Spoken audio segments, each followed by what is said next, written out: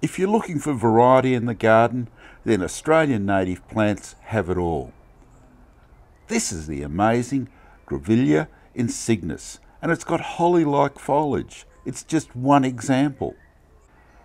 This is the second group of 10 in our series on native plants, and we'll start with Christmas bells, Blandfordia grandiflora.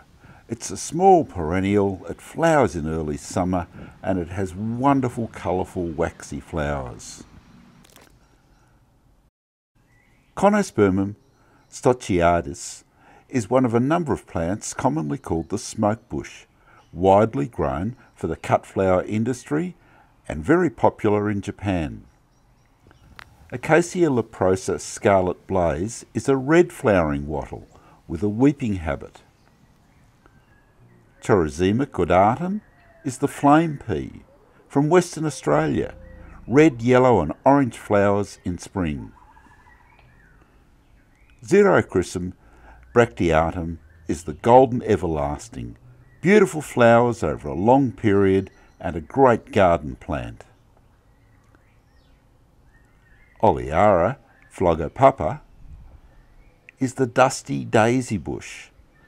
It's a small to medium shrub with masses of flowers in spring. Banksia ericifolia is the heath-leafed Banksia and it's regarded as one of the most attractive of all. Daviesia horrida is the prickly bitter pea. It's a small shrub with bright flowers from winter right through into spring. Verticordia monadelpha is the pink feather flower, brilliant pink flowers on a branching shrub. Pandorea jasminoides is the bower of beauty, a woody scrambling vine or climbing plant with pink to white flowers from spring right through to late summer. Coming soon in this series, we'll take a look at ground cover plants, climbing native plants, some native orchids, as well as a range of rare and unusual Australian plants.